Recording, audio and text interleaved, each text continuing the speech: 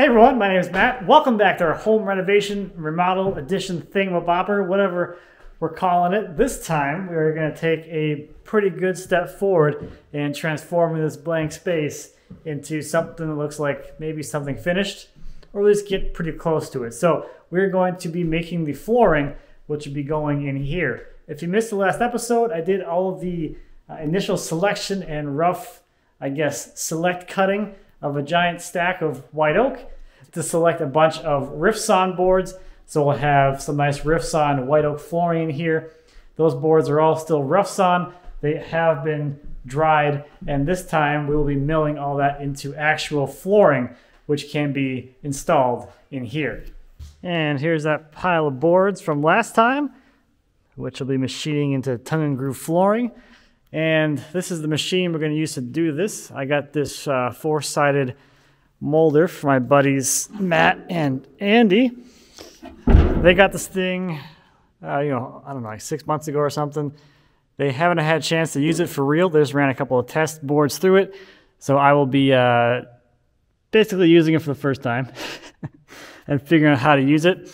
Uh, but it has four heads. So you have this cutter head here, which is on the bottom. This will cut the bottom of the board. You have a spindle here. This one's already got the, uh, the tongue knife in there. So this first knife cuts the tongue on this side. This spindle here will cut the groove. And then as it exits here, there's another cutter head up here, which will plane the top of the board. And if you kind of look this way, you can see the, uh, the fence here. This is really like the reference of the entire process. So whatever ends up against this fence here is uh, how the board will go through. So you want a nice straight edge on here. On the bigger machines, you might be able to get away with a little less of a straight edge to start with, but to get nice straight boards, which close up really nicely in the install, you want to make sure that the uh, your reference edge is nice and straight and perfect as it goes into the machine. So I will be going through and uh, edging all these boards to give them a nice straight edge. One of the questions on the last video was on uh, ripping all these at the table saw if I had edge jointed them at all, and uh, I did not. So I took the rough sawn edge right off the sawmill. A little bit of snow falling off the roof. so rough sawn edge off the sawmill, and I just threw it through the table saw to rip these to a rough width. I have two widths in here. I have six and three eighths rough and like four and a half rough. They should finish at like almost six probably and four. And mixing in the fours with the sixes will allow me to use more of the material. And a lot of times, if you mix them in randomly enough, you can't really tell that there's a narrow row, you know, wherever they might be in the overall field of the entire floor. So it's a good way to use, you know, some extra material without just having a bunch of uh, a bunch of waste. So I am going to get working on this pile, get them all edged, and uh, at least get that stage finished up. And while I'm doing that, I'm also going to read the manual for this and uh, calibrate it and set it up a little bit. Like I said, Matt and Andy haven't really used it at all, so I'm going to go through as if it wasn't used at all and make sure all the cutter heads are aligned to the tables. And basically, I'll do the whole setup process as you would do if you had just got this thing uh, from the manufacturer.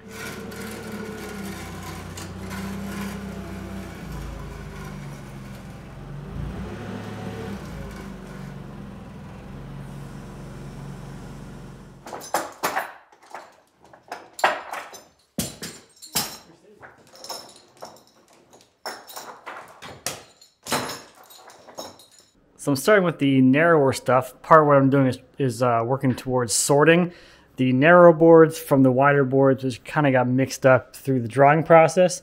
I wanted to show you one little trick here, I guess. So I don't necessarily need all these boards to be the full eight foot long. I need to have some shorter pieces for the install.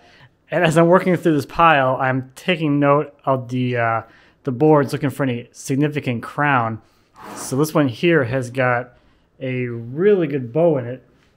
So you can see if I were to straighten this out, I would lose a half inch on this side, and then I lose another half inch on the other side, so I end up losing an inch of material.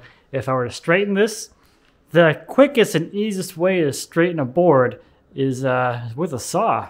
So this one, we'll boop, cut that one in half.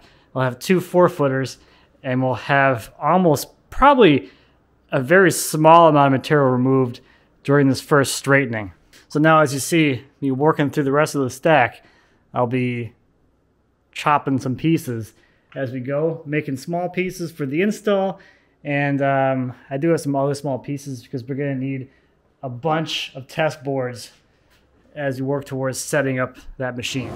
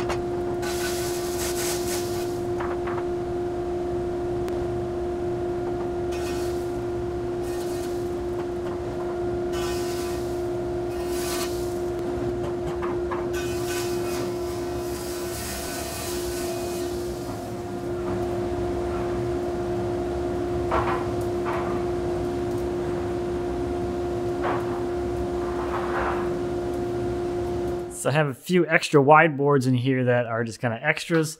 And there is the full width boards, and these are the uh, narrow width boards. So we'll have at least two different runs of widths, probably more like three or four different widths that will run.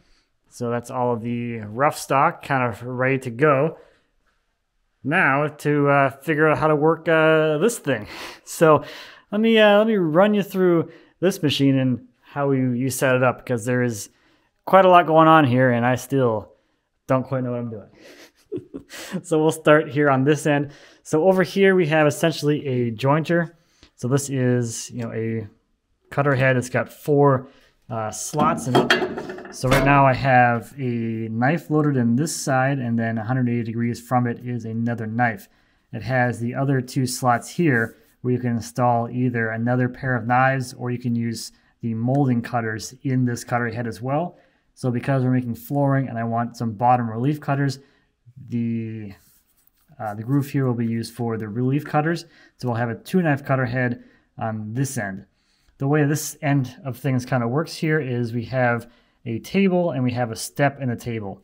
So you can see this fin here and this fin over here.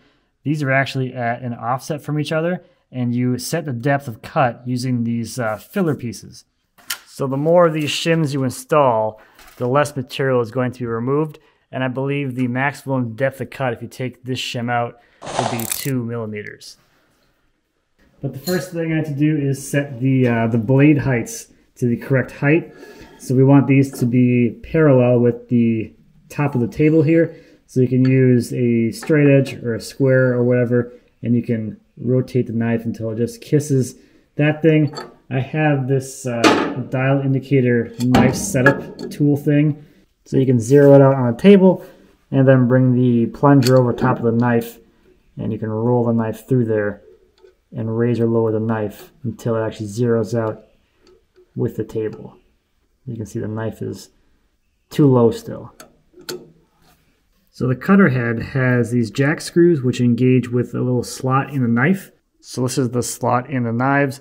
So there's a little screw head that's kind of engaged in there. So when you uh, turn it in or out, it will raise or lower the knife, which uh, is kind of slick.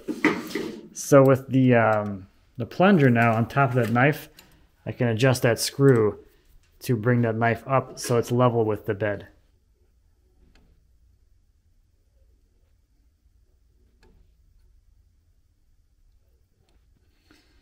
Okay, let me do the other side.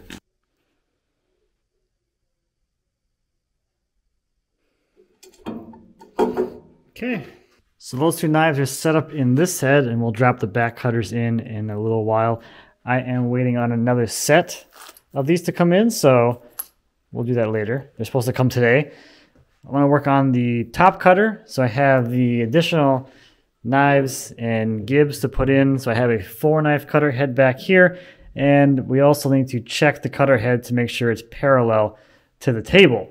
So I think I'm going to do that first, and we should be able to do that with, uh, with this thing again. So the dial's reading at 32 on this side. We'll spin it around and see what it reads on the, uh, the other end of the cutter head. So according to the dial indicator, this side of the cutter head is about uh, 11 thou too high. So it's in here kind of like this, this kind of goofy angle. So I need to loosen up these uh, mounting bolts here and drop the uh, drop this side down a little bit.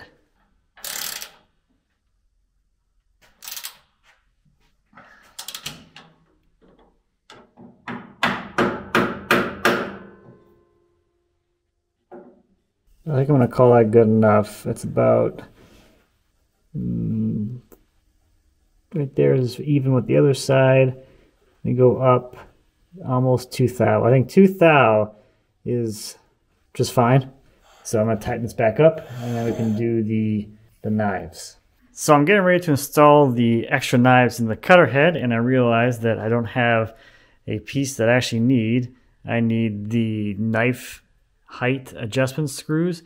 These things are the ones that grip into those uh, slots in the knives and allow you to push them up and down to level them with the cutter head. Um, I don't have any more of these screws like in the accessory bags of hardware and everything that I have. So I just ordered a few more of these.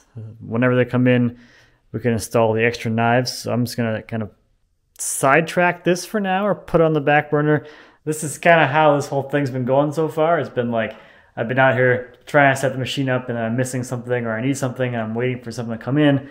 That's uh, that's the gist of how this has been going. This machine's been in here for uh, like two or three weeks already.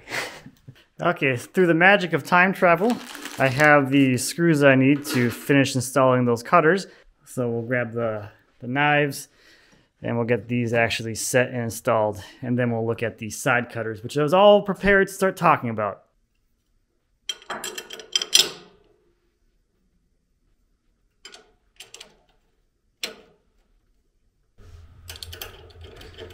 Okay, so we got the jack screws and we'll get these kind of roughly where the other ones are, just protruding a little past the cutter head and then we'll snug up the uh, the gib bolts Which I can't get to. So this is the knife setting jig they provide. So you're supposed to put this over the center of the knife and this will tell you if the knife is at the right height for the depth of cut it's supposed to take. So the way that I've been doing this is I set the knife high to begin with so that the setting gauge thing rocks and then I'll lower the knife down until it stops rocking.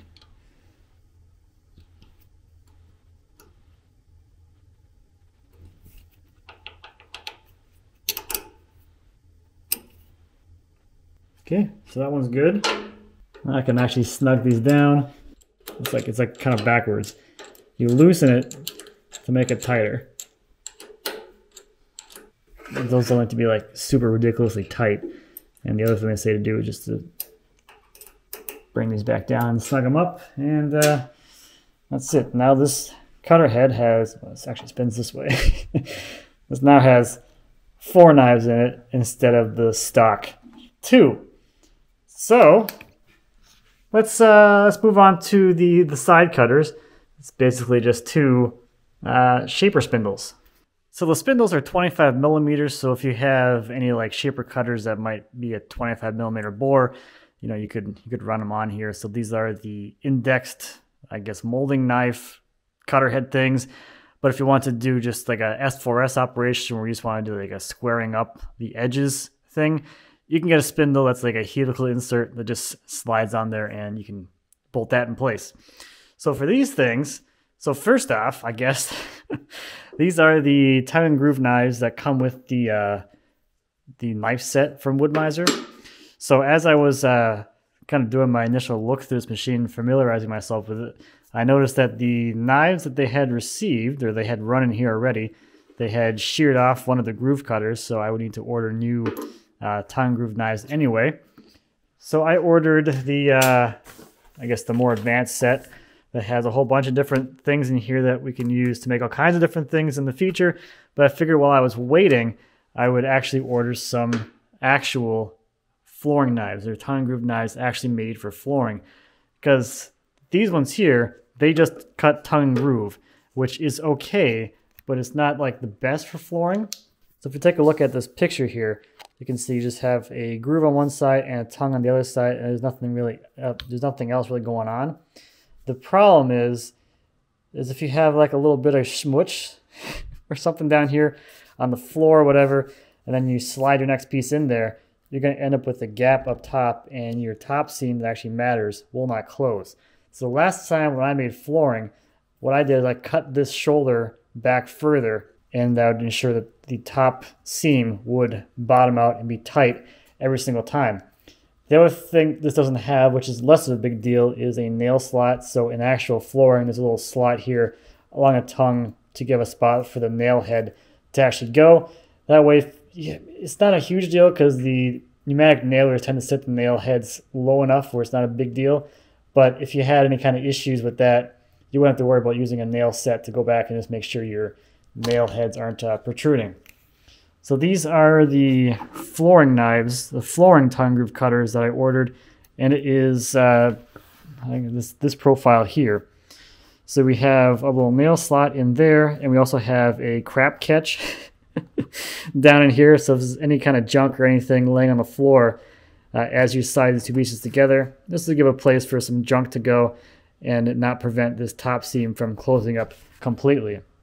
So these things are all indexed. They have these little studs in here so you can just simply pop in your knife. It's all indexed exactly the same place with those index holes and then there is a wedge that you can slide in to lock the knife in place. So that is sort of the easy part. The more difficult and potentially annoying part about this is setting the height.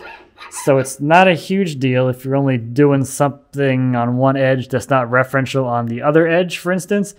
But in this case, since we're doing flooring, these have to be set exactly right so that the tongue and grooves actually seat fully and the top ends up flush. So that is actually done with all shims.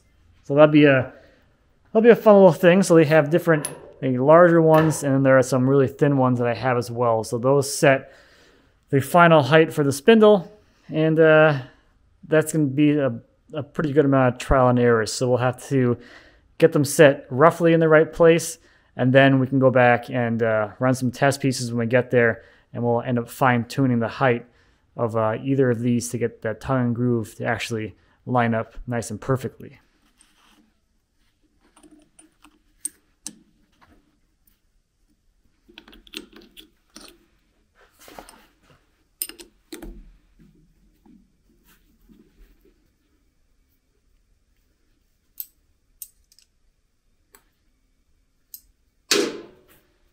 So now is the fun part of getting these things set up right. So I want my groove to be a quarter inch off the bottom of the flooring. So I have this straight edge here, which is a quarter inch thick, and that's where I want the, uh, the tongue here to actually start. So that's actually pretty darn close right there. So in theory, put those on there, these on here. This can drop on here. This one here can drop on here.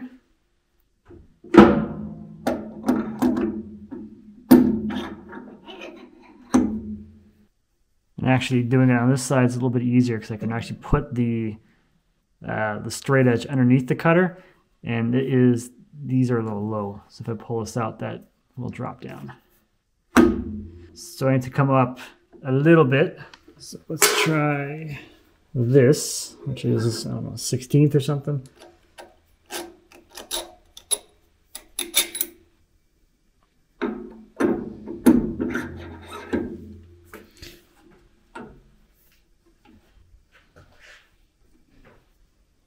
So I think that's going to be pretty darn good enough close. It's a little bit high, but as long as the other side matches, the actual dimension on the bottom side doesn't matter a whole lot.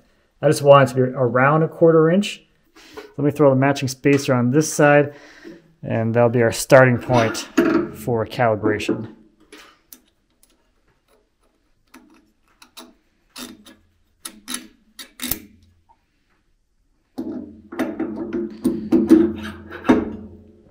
These are the nuts that lock the uh, cutter heads in place. And you have to shim up the rest of the spindle to get up to the thread height. So let's do go there. And now we can, one of them is reverse thread. And this is reverse thread. Yep.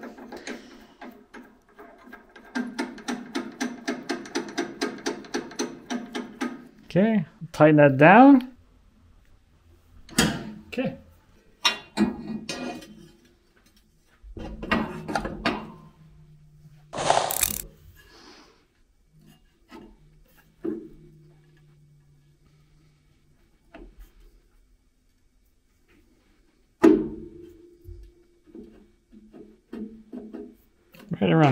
That's pretty close. So now if I look over here, you can see this straight edge extends this fence. And now here you can see how much material this fence here is set up to remove. So this cutter head's to remove whatever this distance is here. Since I already jointed the edge, I don't need to remove much of any material. So I'm to move this one uh, to maybe like a 16th or something from the straight edge because that's practically all that you need to remove to actually square up the board. It's already straight, it's just not square.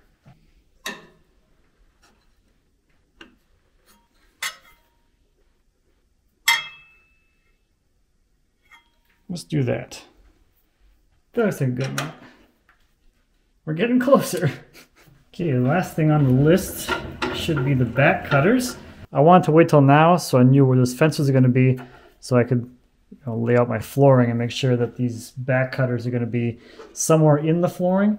Uh, I think i will probably have to just do one back cutter when we get to the uh, the narrower stuff. But at least for now, for the we'll set up for the six inch wide stuff or whatever the wider stuff ends up being, probably like five and three quarters or something. So we'll set up these cutters for that. So the cutters are exactly the same as the ones that would go into the uh, the side spindles. They just have these little gibs here, which use the same index holes, and then these things just drop into the uh, the slot here in the cutter head.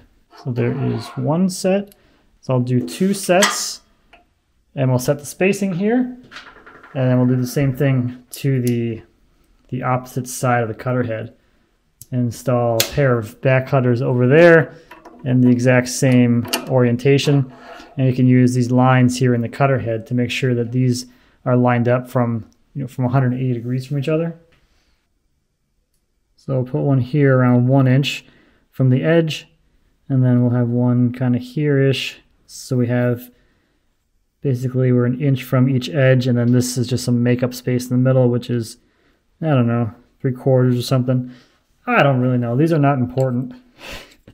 Like compared to everything else we're doing, these are like the least important thing that uh, we'll do because their actual exact placement is completely irrelevant because they're not interfacing with anything else.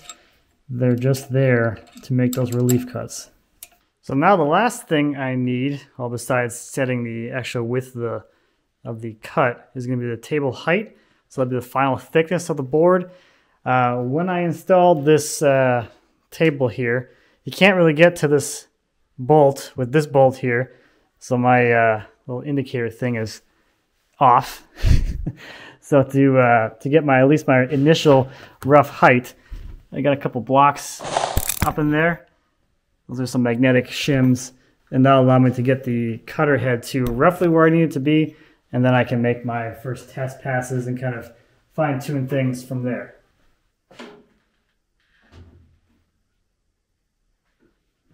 Okay, let's start getting this a little closer.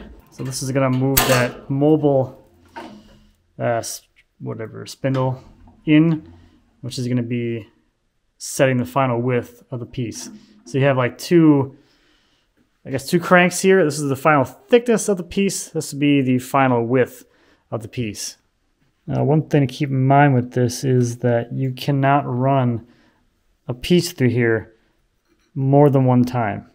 So once the board goes through here, that's it. That board is done. It cannot be, you, you can't make an adjustment and run the board again and see what happens. You have to grab a new sample board because every time it goes through, this bottom cutter is going to shave something off of it. Okay, so after all of that, let's uh, let's power it up and see uh, see how that goes. So bottom cutter.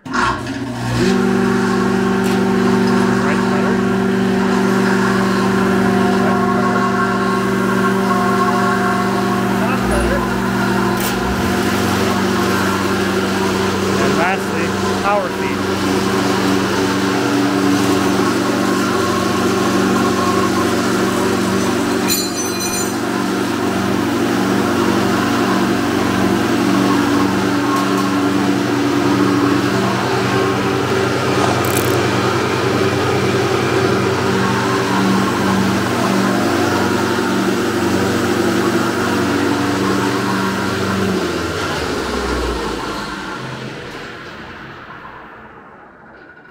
So the next major thing with the machine is going to be to start throwing some test boards through it and getting those two cutters at the right heights so the tongue and grooves match and the top ends up nice and flush.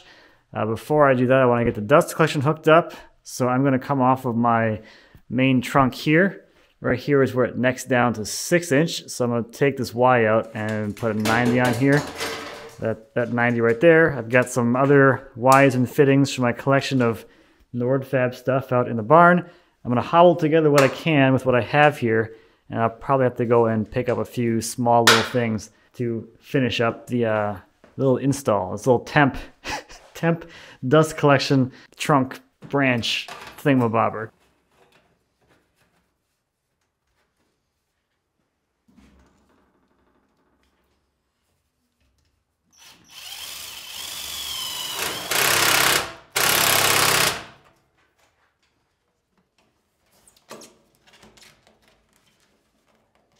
Okay, we got the dust collection all plumbed up and ready to go. So that is uh, taken care of and off the list. So now we're gonna start running some test boards and getting those two side cutters at the correct elevation for the tongue and groove. So I'm gonna slam this thing through here. We'll cut it in half and then we'll take a look and see uh, how much the cutters need to be shimmed to make that uh, tongue groove actually match up. For those of you wondering as far as timing goes, to get to this point, I have 14 hours into this machine. That's just setting up the machine, calibrating it, looking at it, figuring out what the heck I'm looking at, and uh, all of that. That includes none of the time to process the wood to this point, just for machine setup and plumbing it into dust collection.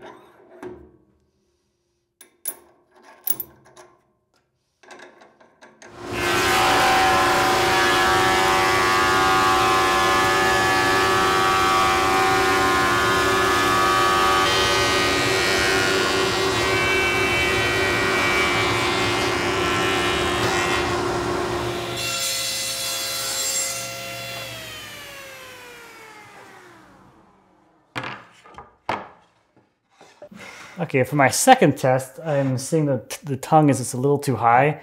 It's contacting the top of the groove just a little bit, lift this one up.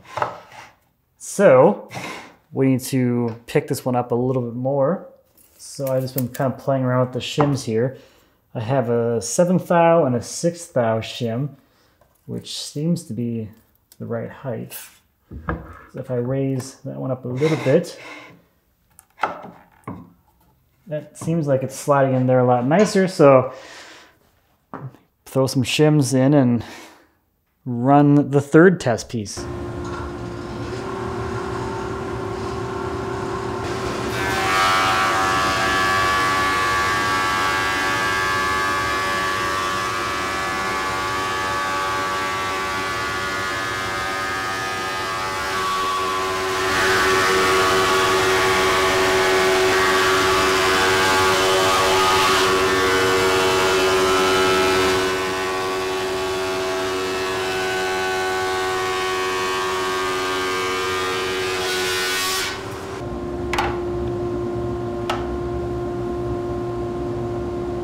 Okay, with all those tests complete, I think I'm ready to start running some flooring.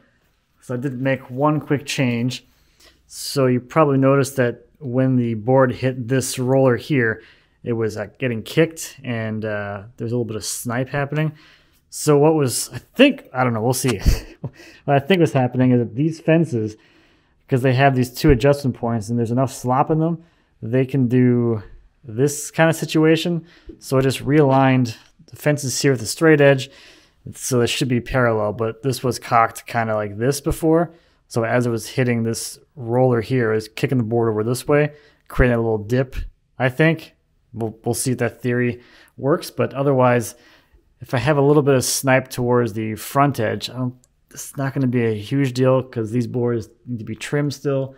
They have end checks, so a lot of that should probably end up being removed anyway, but all right, let's see what happens. I'm to run a few boards and uh, we will see how the first few look. And then once I'm happy with a few of these, we can go ahead and just, uh, just go, I guess. Finally, just go.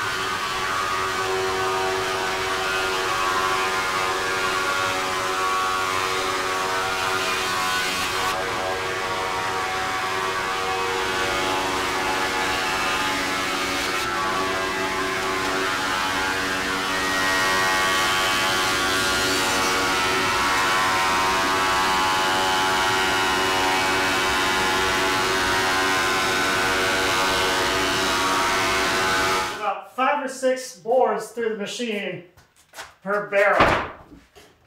This is going to be a lot of barrels.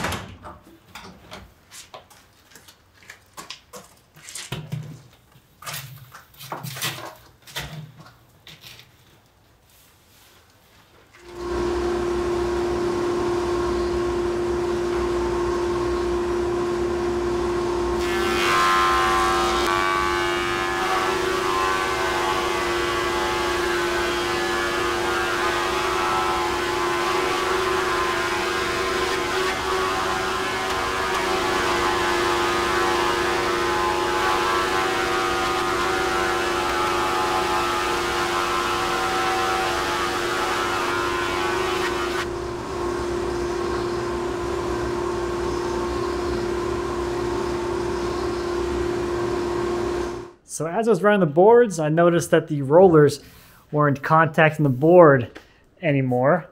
And what had happened, and some of you warned me about this on Instagram, is that this cutter, the mobile one, likes to move on its on its own. So what happened is it drifted out about a quarter of an inch. So my finished flat surface went from five and seven eighths and drifted towards six and an eighth. Uh, so I went ahead and I reset the cutter. I reran all of those boards with only that cutter spinning. Everything else was off except for power feed. I uh, I really, really, really cranked down on the the lock here. I guess it wasn't quite tight enough before, but it's really tight now. And I also put a uh, a witness mark on here so I can watch it to see if this thing backs out or moves as things are progressing. After about 20 boards through, I, feel pretty confident that uh, I have figured out all the little little quirks.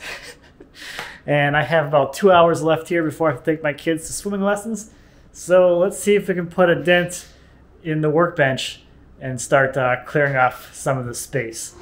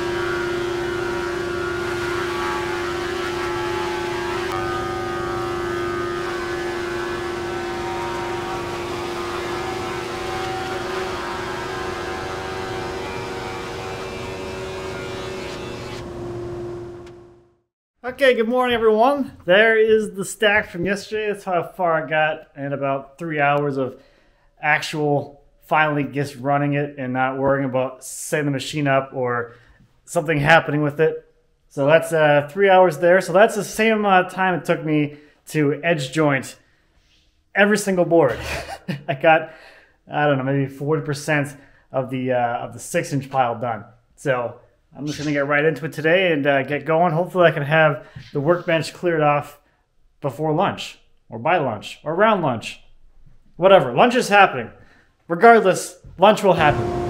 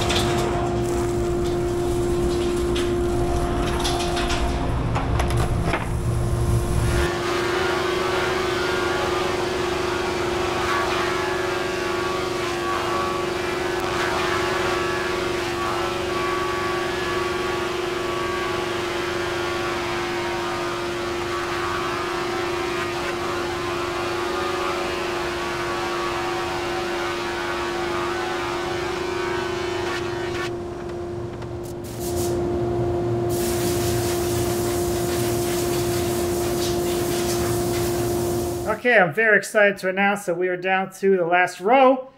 Super excited to be here finally. let's uh let's run through this last row and then we'll start making some uh, narrow width planks.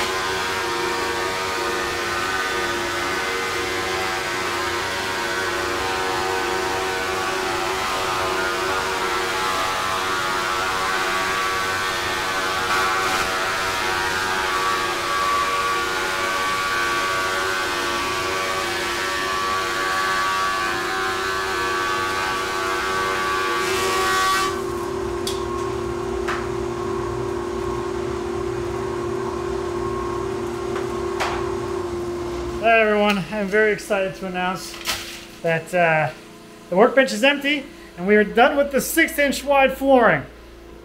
I'm going to reset, kind of reorganize my thoughts a little bit, start kind of digging through this, and we'll uh, we'll start making our second second run, and then probably our third and maybe even a fourth run, kind of after that. Holy crap! Finally. Okay, those are all sorted and prepped. So these are going to be. Uh, I'm going to try and set these for four and an eighth wide, and then these will be a five inch wide face, or maybe a little bit under there, four and seven eighths or something like that. But these will be a little bit wider than, uh, well, I guess it'll be an inch. this is an inch smaller than this. This is an inch narrower than that stuff. So that's what I'm gonna do now. Do the whole thing all over again. We'll reset the uh, mobile cutter thing, and then uh, start running some flooring again.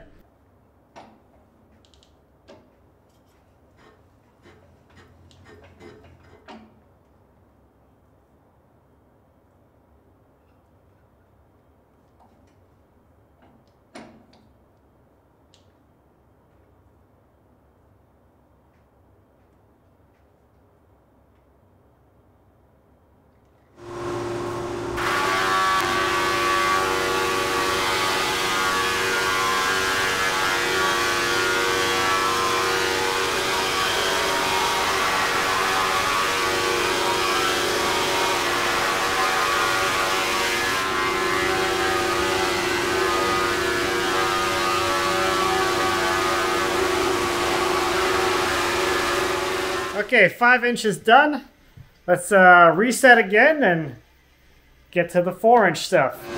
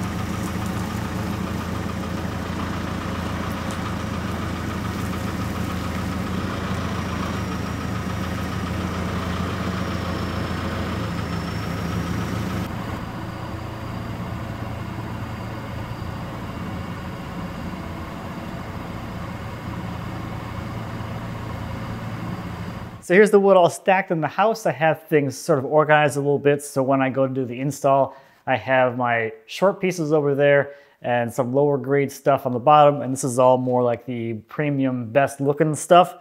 So it should help with the install a little bit. I have them stacked and stickered in here to help kind of mellow out their uh, moisture content. I was checking with the moisture meter as I was bringing things in and I'm seeing readings below four and up to about eight. I want to get those eights to come down a little bit. So these are going to sit in here and acclimate for a few weeks before I get into the install, but I have to get the area prepped anyway. So it all is going to kind of work out well as far as timing goes. And fun fact, I made these stickers out of the old stair treads for the staircase that we removed, which used to be on the other side of that opening over there. So kind of a fun little tie-in of sorts. So big thank you to Matt and Andy for letting me the machine to make all of this flooring. That was super fun and very interesting to kind of experience and play with. If you missed the video that I did with Matt where he gave us a tour of uh, his operation, I'll leave you a link to that so you can definitely check that out. Now we have some actual flooring to get installed. I'm looking forward to actually getting the stuff in here and really transform that space into something that is uh, less, less of a construction site and more of a home. so thank you as always for watching. I greatly appreciate. If you have any questions or comments on making the flooring or anything back in the shop or anything here with the home renovation remodel thingamabobber, please feel free to leave me a comment. As always, I'd be happy to answer any questions you might have. And until next time, happy woodworking. It's wood.